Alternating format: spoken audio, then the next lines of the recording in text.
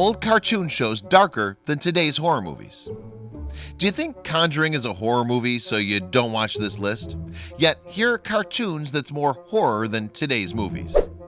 Number 1 Bimbo's Initiation 1931 Torture, Sexual Insanity, and Betty Boop. The story follows Bimbo the dog, a forgotten cartoon mascot of the 30s, who falls down a manhole and meets a strange race of black-faced, candle-headed people, one of whom chants at Bimbo, Wanna be a member? Wanna be a member? Wanna be a member? Wanna be a member? No. Number 2. The Little Pest, also 1931.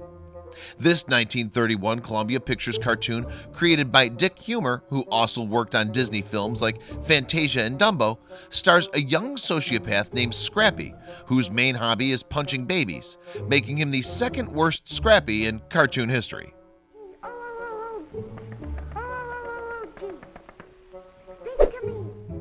Number 3.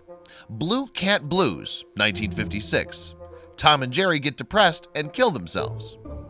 Over the past 70 years, Tom from Tom and Jerry has survived so many face explosions, dog bites, and mousetrap related accidents that he's got to be used to the pain by now. That's why a cartoon from 1956 decided to take things to the next level by killing not his body, but his soul.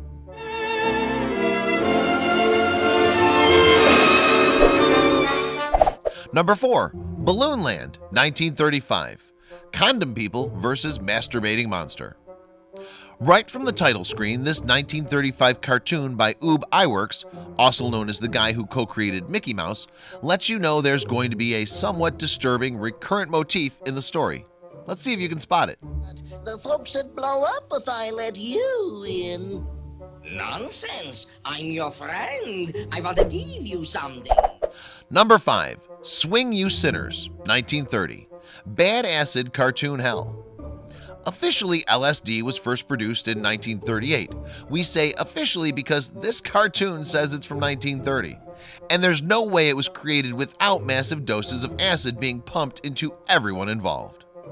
Thanks for watching. Like and subscribe for more. That's